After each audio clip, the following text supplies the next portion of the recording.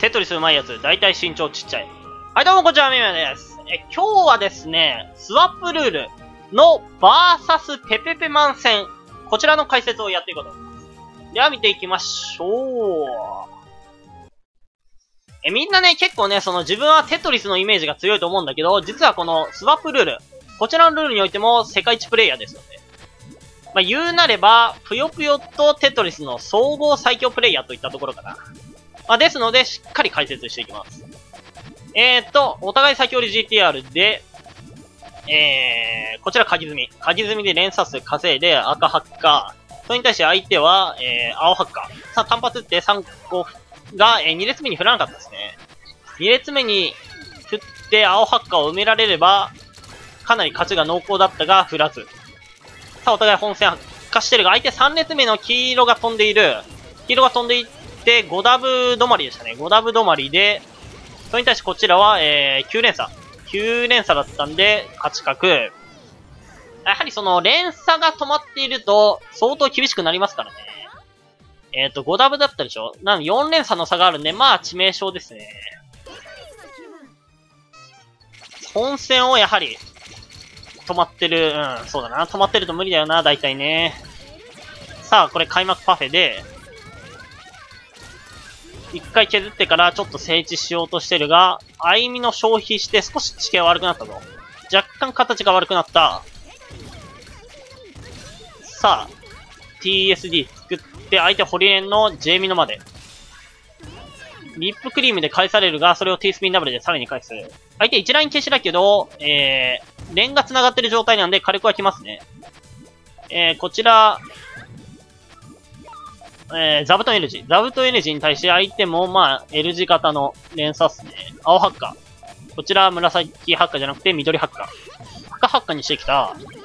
えー、緑ハッカーの連鎖はどれぐらいだろう。相手は6ダブか。6ダブに対し、こちらは一応8連鎖ある。8連打って、連鎖数的には一応2連鎖上回っていたが、相手もまあ、鉄ス側で連、ってか、しっかり火力を送っていたので、なんとか耐えてますね。しかし有利。3、2、1。テトリス仕込み。3段強振ってさらにテトリス仕込み一方的に仕込んでいるんで、これは相当有利ですね。さあ、再び2段強振って発火する。これはコンボ5連鎖。さすがに相手が埋まったの見えてるんで、これはコンボ5連って勝ち確ですね。うん、やっぱり、これは一方的に仕込めたのがでかいかな。テトリスの自由落下？仕込めるか仕込めないかっていうので、プヨ側に火力も送られるし、コンボもつくので、一方的に仕込んでた時の有利感は半端じゃない。さあ、DT 北本したが、エスミノの置きミスが辛い。エスミノの置きミスどうリカバリする一回 T スピンダブルでリカバリーしているが、相手に連を積み込まれる。これはしっかり置きミス見て連積み込まれたかな厳しい。しかも、相当上部まで組み込んだんで、相当不利ですね、これ。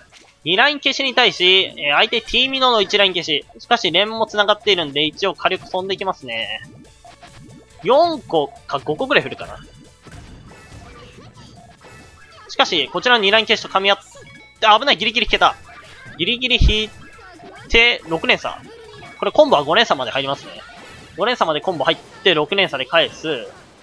相手4連鎖。しかしこのコンボの連が強いんで、まずいぞこれ。9連テトリスコンボで、12連、13連、14連、15連、16、うわ !16 連、17連のしかもパーフェクトクリア。いや、これはやばいですね。途中までコンボ連の、てか、連にさらにコンボがついた上に、17連目のパーフェクトクリア。これはちょっと絶望的ですね。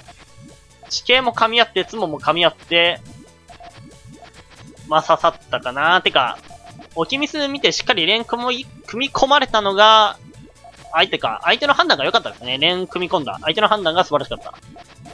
さあ、これは、えー、こちらは赤ハッカですね。赤ハッカに対して相手は緑ハッカー。緑ハッカーだからどうだこれは。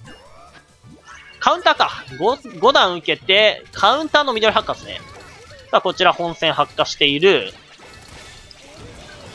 相手中明連。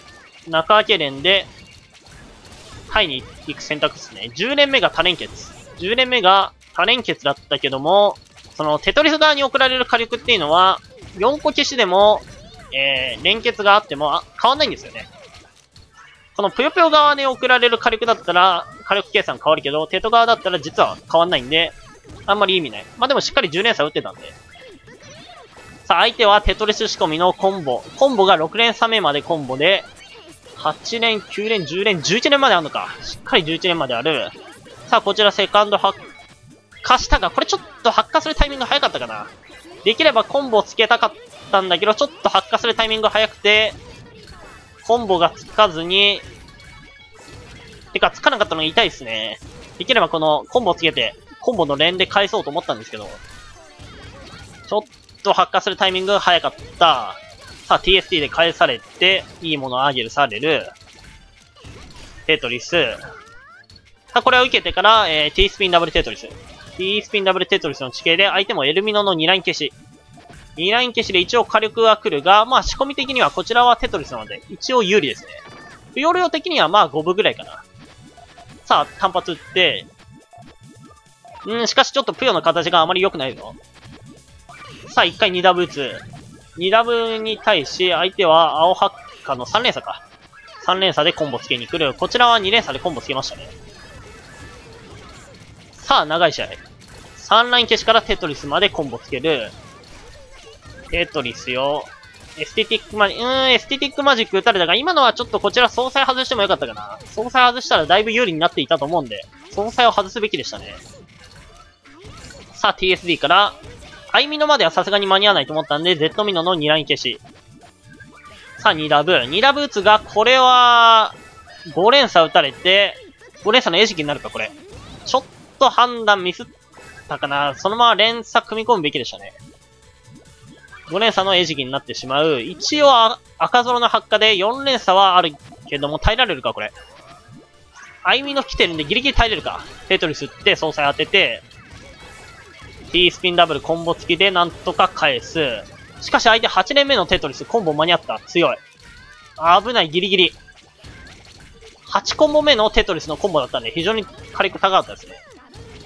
あ、TSD テトリスの地形で、こちら T スピンダブル打つが、えー、相手が2ライン仕込み。2ライン仕込みに対してこちら1ライン仕込みなんで、仕込み的にはちょっと不利。1ラインは火力送れないので、2ライン消しは少しだけ火力きますね。さてどうだ？再び仕切り直しになったように感じるが、まあ5分ぐらいか。一応5分ぐらいではある。さあ発火してお互い発火するが、俺、2列目の紫がない。2列目の紫完全に忘れてますね。さあ4連鎖止まりで、相手が6連か7連ぐらいだったか。ダブル消しで、えー、タイに落としたけど刺さる。あー、まあ、これは紫忘れてましたね。完全に忘れ物していた。あそれで連鎖数がだいぶ負けていたんで、そのまま刺さりましたね。いやー、もったいない。あ、間違えた。0.75倍、5倍速にしちゃったが、まあ、気にしないでちょっと、まあ、合動作をね、起きてしまうと。あお互い、先ほど GTR で、えー、と、青で単発。青で単発って、これ、連鎖日の聖地ですね。まあ、鍵積みで連鎖数稼いで、紫、赤。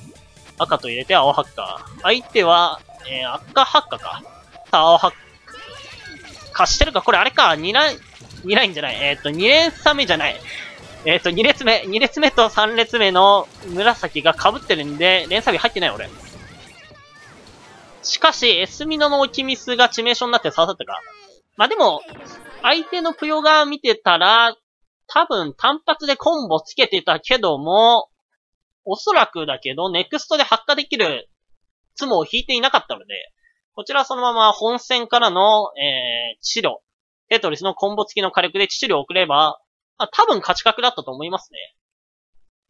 まあ、スワップルールのやはりその難しいところの一つとしては、25秒以内に必ず本戦を打つか、えー、本戦の発火確保。まあ、次の手で発火できる状態を保つっていうところは非常に難しいんですね、本当に。